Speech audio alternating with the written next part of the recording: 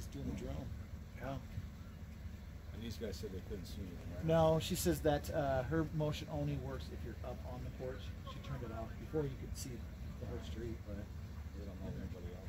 he used to have a pool on the corner here, but I don't think he. I think he took his cameras down because he had the up there. Yeah, because I don't see it up on the wall anymore because he had it for his pool. And that was this. I was. I had a. I was going to buy cameras for my house, but I keep telling myself to too, but you know.